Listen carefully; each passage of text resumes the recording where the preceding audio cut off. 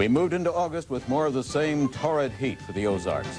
There is a chance for a change in a couple of days, but that chance is subject to change.